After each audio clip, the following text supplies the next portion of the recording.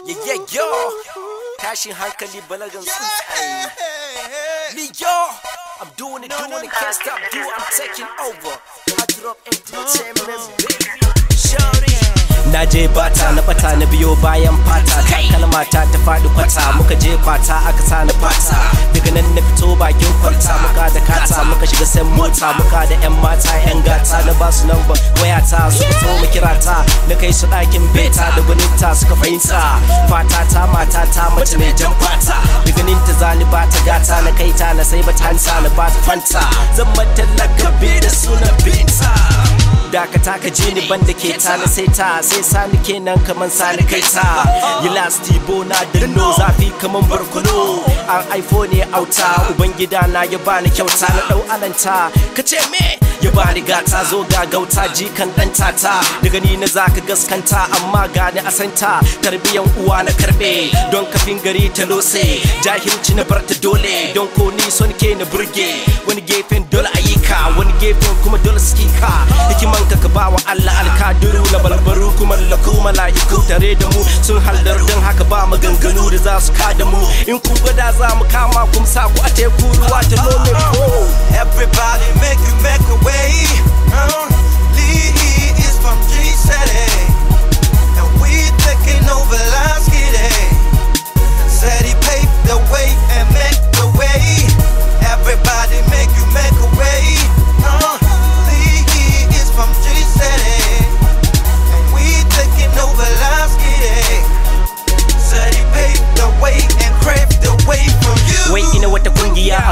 Sabtar zuciya ya sa na gudu wa duniya. Ina fakon samaniya na dauniya na barmiya na tafi da marmarin jiya na dawo lafiya. Na samu gimbiya magajiya na dan saya na dan taya na matalakabi da suna fauziya ta bi ni zaria ta naru a samaru na ce wai kuna banu don ku mun gamo gidan kunu abokai suka ce kar ka ba da mu.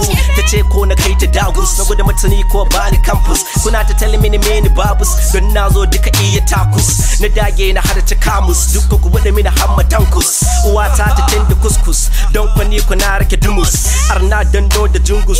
Na da bokai kaman su take kus erastus agabus idan ba ku yi ce ko duk ubankus Everybody make you make a way.